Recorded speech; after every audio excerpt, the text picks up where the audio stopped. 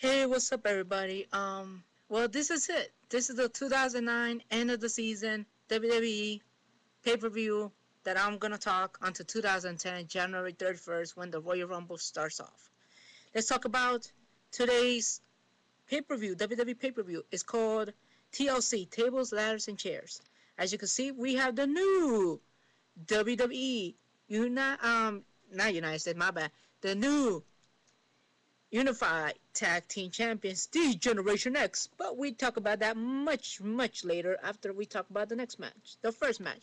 It was between Christian versus Shelton Benjamin in a ladder match, which I consider was the best match of the night after DX. DX has to be second. This match has to be the most oh my god moment of the match. It was so good. Christian after after Christian put Shelton Benjamin in the ladder like a table, something like that. He put the ring, you know, connect the the announcer table in the ring with the ladder, and Shelton and he put Christian on Shelton um put Shelton Benjamin on top of the ladder. He went on top of the ropes and jumped, and oh my God, they broke the ladder. If you want to see this and you want to see the almost the whole pay per view, check out the description box on my blog TV account right there it will show the um the pay-per-view. I don't got the whole matches because i don't got enough minutes. So that's on the internet.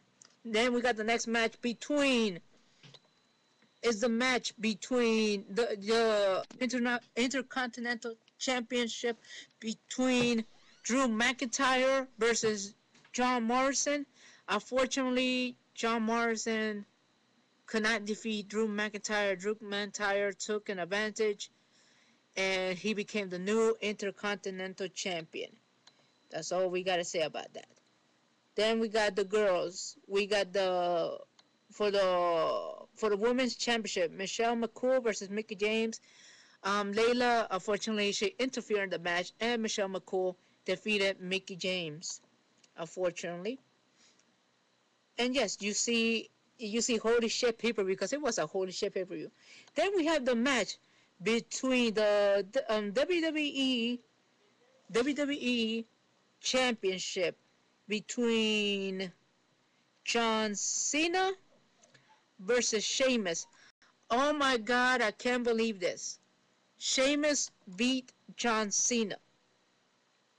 After, I don't know if John, if Sheamus won like that, but he kind of like pushed him, or he, or John Cena kind of lost balance and he went to the table. But it was like an oh my god moment. I was like, oh my god, and this other stuff. And now Sheamus your new WWE champion. Okay, then we got the match between Undertaker versus Batista in a tables and uh, not tables match, um, chairs match. Unfortunately, Batista almost got the win after he gave a little blow to the Big Show and hit him with the chair, and he almost became WWE champion. But Theodore Long came and said, You could use chairs, but what you did, that's not a way to win a championship. So he renewed the match. Um, Batista was coming back with the chair, about to hit the Undertaker, but then Undertaker counter, hit him with the chair, and then he did tombstone, and he still has the championship. Then we have the match between Randy Orton versus Kofi Kingston. The Kofi Kingston match was pretty good. Unfortunately, uh, I think Kofi Kingston got an injury on his um, elbow or something like that. So Randy Orton took advantage of that and RKO Kofi Kingston to win. To win.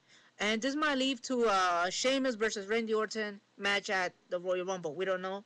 Maybe. Then we got the last match. The Generation X versus Jericho, Big Show, and Chris Jericho. This match was brutal, violent, everything you could put. And it was like, oh my God.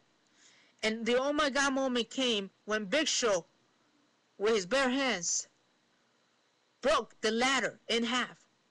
And you should have seen it.